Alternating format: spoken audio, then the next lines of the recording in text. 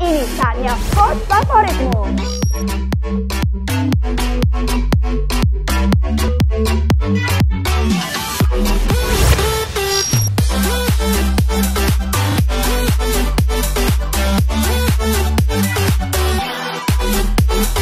Lihat cara vote-nya di sini.